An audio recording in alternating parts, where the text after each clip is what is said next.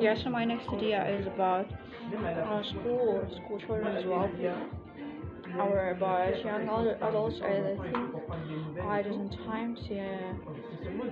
give young people the possibility to marry earlier because life is running really faster than, uh, let's say, the times running good, and um, I think it should really uh, possible to marry uh, early people are falling in love with each other in early age and in young age and they're uh, becoming parents or they're getting pregnant uh, because a lot of times there are a lot of abortions and uh, young girls are not able to keep a child and then they're not able to reproduce any longer.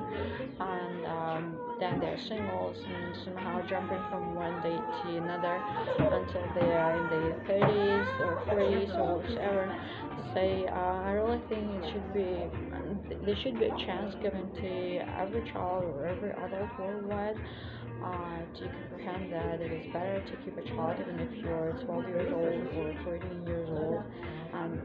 uh, marry the, your partner uh, and then you can uh, study a little bit later. So I really think uh, the entire uh, politicians and the states and governments got to be accepting the fact that uh, some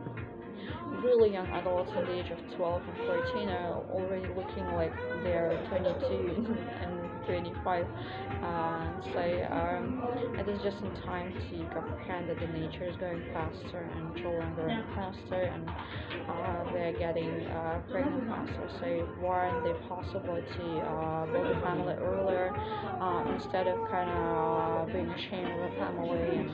uh, being neglected uh, because I think um, stories like Romeo and should never happen uh, anymore. In this sort of time so uh, I think it is time to um, to release uh, broken hearts and to uh, produce any broken hearts anymore, but make it possible that